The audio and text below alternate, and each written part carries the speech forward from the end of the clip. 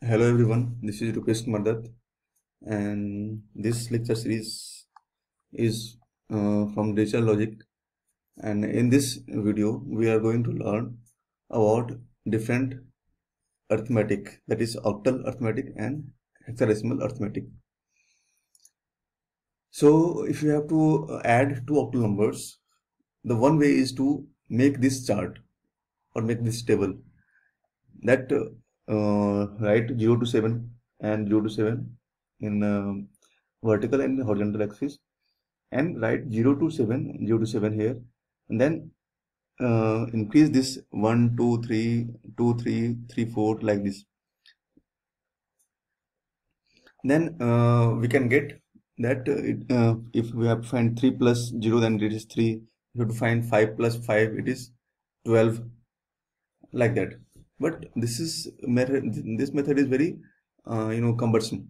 So there is one more method that we can choose. So in this method we have to we have a example that we have to add two numbers 1 to 3 and 5 to 7 from the octal number system.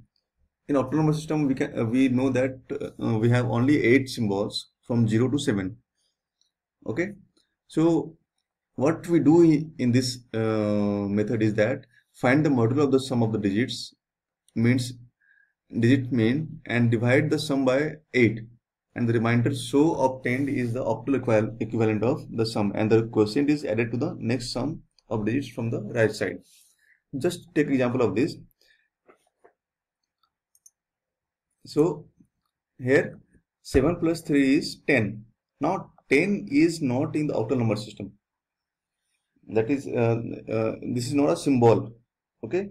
So what we have to do is we have to check that if the uh, sum is more than sum or not. If the sum is more than sum then we have to divide this number by 10 sorry by 8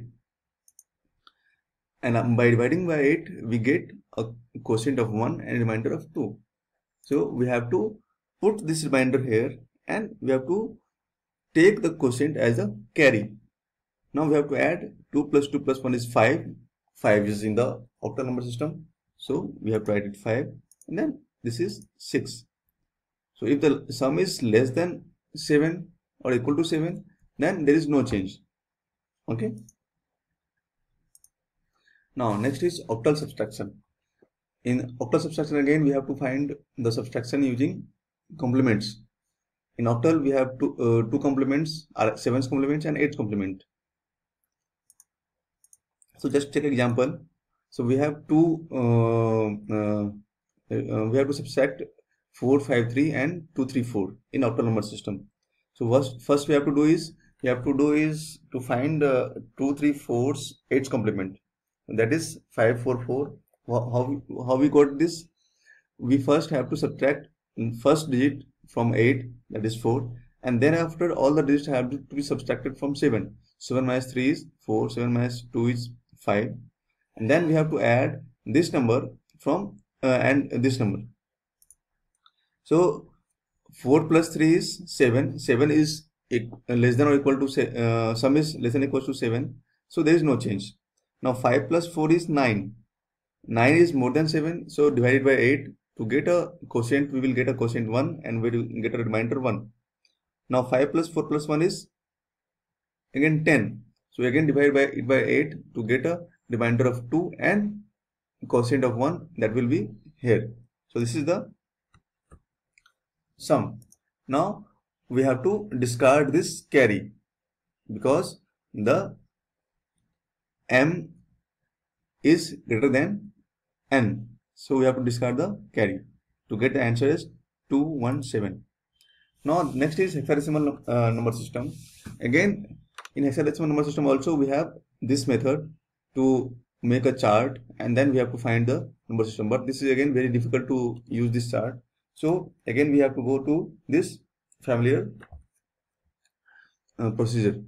Again, in this also we have to find the modulo of the sum of digits means divide by the sum by 16 and the remainder so obtained is the hexadecimal number equivalent of the sum and the quotient is added to the next sum of digits from the right side. So uh, there is an example of uh, finding the sum of hexadecimal num number system A2 AC and IF AB in hexadecimal number system. Again in this also if this sum is more than 15 then we have to divide it by 16. So B plus C. C in uh, by, uh, decimal is 12 B in uh, decimal is 11 so 12 plus 11 is 23 because 23 is more than 15 that means we have to divide 23 by 16 that in in that way we will get a quotient of 1 and a remainder of 7 so 7 is uh, put here and 1 is the carry. Again a plus a plus 1 so we will get 21 again 21 is more than 15 so we will divide it by 16 to get quotient of 1 and remainder of 5 so 5 will be here and 1 will be here. Again f plus 2 plus 1 so this will be 18 so 18 is again more than 15 so again we have to divide it by 16 to get quotient 1 and remainder 2. Again a plus 1 plus 1 that is 12. Okay. Now this number is less than 15. So there is no change. So if the sum is less than or equal to 15 then no change and if sum is more than 15 then divide the sum by 16. Now hexadecimal subtraction. Again in this we have to find RS or R minus 1's complement to get the subtraction done. So R, RS complement is 16's complement and R minus 1's complement is 15's complement.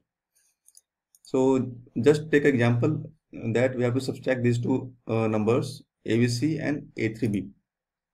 What we have to do first is we have to get the 16th complement of A3B to get 5C5 now we have to add ABC with 5C5 to get this number. So again we have to do same thing that if the sum is more than uh, 15 then divide the sum by 16 and if the sum is less than or equal to 15 then there is no change. So after doing the calculation we got this answer and here we can see that there is a carry here and if there is a carry in subtraction then we must discard that carry because we are using RS complement. So the answer is 81 in hexadecimal number system. So I hope you all must be very clear about uh, what is the procedure to follow when using arithmetic operations in hexadecimal or octal number system. Thank you very much.